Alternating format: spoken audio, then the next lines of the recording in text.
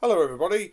So after my last video on um, the robot Longworth robot gripper uh, thing, um, uh, a, a, follower, um, Phil on Twitter, um, asked me how I'd gone about importing an SVG uh, into FreeCAD as the basic sort of uh, drawing to uh, model the geometry of the um, the the project off. Um, so this video is going to kind of show how I've done that from um, Inkscape to uh, FreeCAD. I have to say though, there's a caveat with this video that uh, the only reason that I did it was because it was quite a complicated um, thing to draw up in Inkscape. Um, and I wasn't prepared to put the work in at the time to redraw it all again in FreeCAD. Um, so it was sort of necessity being the mother of invention that led me to do that. And your mileage with this will vary. So wherever possible, I would say it's way, way better to um, draw stuff using the Sketcher tools in FreeCAD if you can. That said, it can occasionally be a useful little process. So um, I've just quickly uh, brought up um, Inkscape and just roughly drawn a little uh, thing.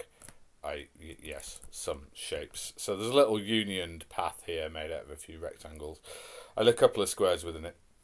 I mean, this would be quite trivial to draw in um, in in uh, FreeCAD, um, so it's just for an example, really. So I've saved it, and I've just saved it as a.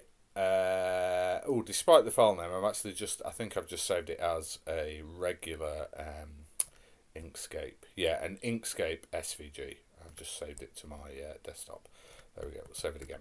Okay, so then if we open up FreeCAD um, and start a new project. It'll jump us into the uh, the regular kind of start workbench um, with with not tools. But what we're going to do is we're just going to go File and Import and try and import that SVG which I saved on my desktop. Gosh, this computer's a mess. Uh, there we go. Is that one? Okay, so it asks you whether you want to uh, import it as a drawing or the SVG as a geometry. So we want to import it as a uh, geometry. And there we go. So you can see there we've got our drawing uh, is in. But um, and it's sort of brought it in as like sort of all individual paths and it's jumped it into sort of three parts, which kind of makes sense actually in this in this context. Um, so there's there's a part which is the uh, outside path, and then one part each for the uh, internal pass.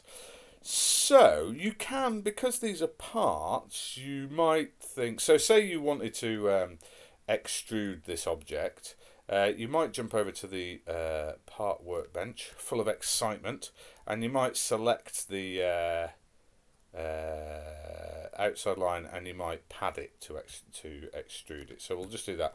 So there we go. So it's extruded, which you know may or may not be used to, uh, uh, of use to you. But I, I guess if you drawn drawn this, there's there's a high chance that you might. I'll just Control Z to undo do that.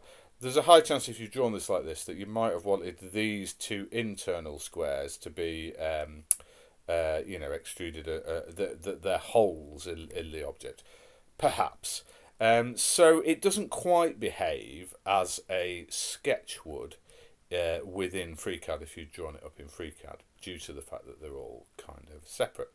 So you can get around that. You can select all of the things that uh, it's you, you've imported.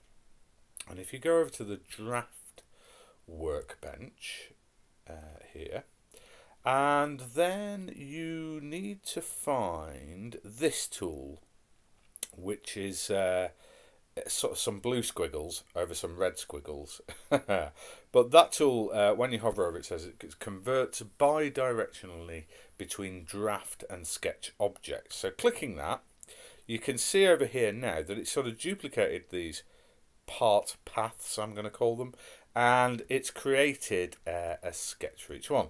So in fact, we can select these and turn the space, click the spacebar to um, uh, make these go invisible. In fact, you could delete these now if you didn't need them further. Okay, so now we've got them as sketches. So we're closer, but they're still three separate sketches. So if if we selected that sketch and extruded it or padded it, it would it would be the same problem. We just have a sketch mapped on it, and so it, it, it would be it doesn't again still doesn't behave like a contiguous sketch. So the final part, if you want all the objects to be in one sketch, is to select the sketches that you've just made, go over to the Sketcher workbench, and then now I always forget this. It isn't a, a tool. Uh, the icon that you're looking for, but you have to go to the sketch drop down menu and click merge sketches. Okay, so there we go. So now we have sketch 3 is essentially uh, a merged collection of these. So if we uh, again use the spacebar to uh, make those not visible, this sketch, if we double click on it, is now a sketch with all the items that we imported in it. You'll notice it has 76 degrees of freedom, and that's because it's completely unconstrained.